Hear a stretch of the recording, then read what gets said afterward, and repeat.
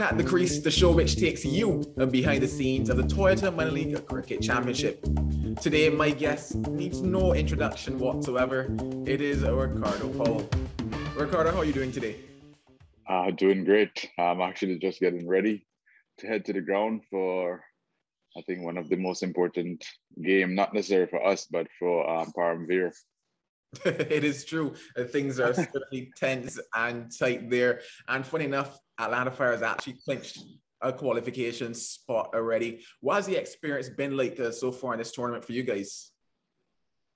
I think um, uh, it, has been a very good experience. It's been up and down. Uh, we've lost a couple of games, but in the process, we have learned in terms of the best combination going into the playoff, um, the the final eleven to be on the field, and I think that makes it all worth it at the end of the day. I think you you win some, you lose some, but in the process, you learn your best combination as a team. Alrighty, and then when you look at it, the experience that you have at the regional level, at the international level, you know, what do you see your role as in a team like Atlanta Fire? Well, I, I, think it's, it's it's more of a mentorship also, while making sure that the the the batting the batting order pretty much stays solid, um, stay in that middle to balance it, whether it be we get a good start or a bad start to make sure that we can finish well and put um, the team in a winning position no matter what.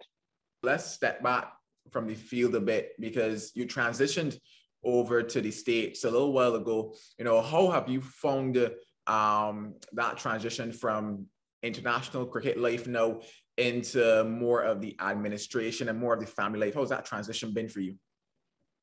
I would say that has been really good. I mean, um, coming into the country, we were fortunate to know that we have our companies. Um, my wife company um, was one that um, we really came into the country on. Um, the main reason for the move was mainly because of my son, um, my last son, who had autism, and he's doing great. Uh, so I think overall the move has been great cricket is now picking up in America, which is good. I mean, we have laid a lot of groundwork in the last six years with ICC America to get cricket where it is. And now you have the minor league and all these other league that are, which is really show that the the, the platform of the um the ICC America and what we did six, I would not, not, not even six years ago, so probably four years ago. Um, that, that platform has really stood up, and um, now I, um, ACE and MLC and all these guys are building on that to make sure that cricket can become one of the most recognized sports here in America. Now, this show is all about cricket, yes, but there's another element to it that's a bit more fun and relaxed, Ricardo. So, in preparing for our interview today, I couldn't help but notice on your social media a slight love for carnival. Uh, would you, would you consider yourself to be someone that enjoys soca music? Oh yeah, I mean, um, I try not to miss a carnival pretty much. Uh, once it's there, I'm there. I mean, my wife is from Trinidad and Tobago. I lived there for almost ten years, and it's it's just a part of me. Um, I, I definitely, as I said, I'm a Jamaican Trini. when you look at it, then all right, let's see. What would be one or two songs if you could choose um, a soca song that is your must-play playlist? Oh, I mean, it's there, there's so much. Um, that um, I, I can like take off the top of my head. I mean, Savannah Grass is one of my favorite uh-huh. um, Kes. Um, Machel is by far um, my top soca artist. I mean, there's so many I can't even begin to get into his playlist. um, but I mean, to me, it is just a, a, feeling that you can't really describe in terms of soca music when you're there and you you land, you come off that plane and you land in Port of Spain, and um, you hear that music. Um, even if you decide that, hey, you know what, I'm in America or wherever you are in the world, and you said, I'm not going, and the season comes around and you start hearing that music, it's like whatever that ticket is, whatever the cost of that hotel is, you just have to be there. And it, it's just the same vibes as you would know. I mean, you're from Barbados, so um, when crop over comes around, it's like it's, it's like a jumbie. You have to be there. And that that is the Caribbean vibe.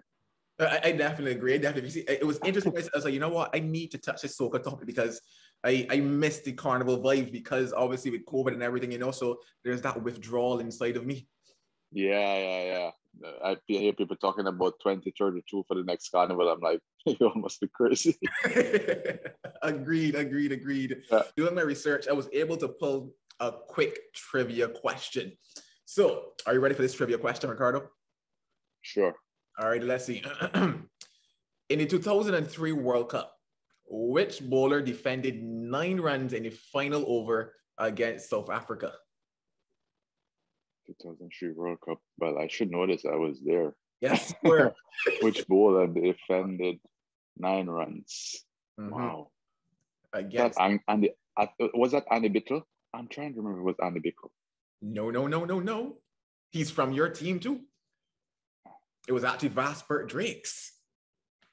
But you said you said the final. Um, when you say the final, I'm thinking oh, sorry, not the, final, final of the World uh, Cup. No, no, sorry, not the final, but play. yes, yes, yes. All yeah, right. So, that was the opening game against South Africa. Yes, it was. Yeah, I, I, I, I wouldn't, I wouldn't forget that game. I mean, like, yo, we won that game. That was like the, the World Cup final. I, I now I understand why you say it's the final because that was like the World Cup final. But yeah, you actually scored a blistering 40, I think, in that game as well. Yeah, yeah. Sarwan and I had a very good partnership in the end there. We got like about 60 or 70 runs from about, I think, 20 something balls. Yep. You know, and you've actually, funny enough, been a part of several memorable moments in West Indies cricket. Is there one or two that stands out more for you? Well, I mean, obviously, I think up to this day, I still live by that innings in terms of the 124 against India and Singapore. I think that's something that I will always remember. Um, but um, there there were many other innings in terms of that I've played in terms of getting close to 100 and just didn't um, follow through. Um, Champions Trophy in terms of memories that would go down in the books in terms of winning Champions trophies with Bradshaw and Brownie yeah. at the end there. Famous winning, with, yeah, winning that. Um, so I mean, in between you had some rough times in terms of touring and losing, but I think the memories of winning Champions Trophy, um, 1999, Singapore making that 100, and just really being able to play over 100 ODIs for the West Indies. That's something that I will um, take with me. I mean, those things you can't really relive, and those are memories that you will always take with you.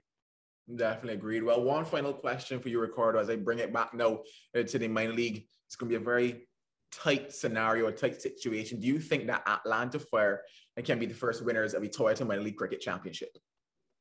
I think we definitely have the capability of doing so. Um, we have to look at the fact that all the other teams are playing well, and we're going into the playoffs now. So it's pretty much like the best against the best.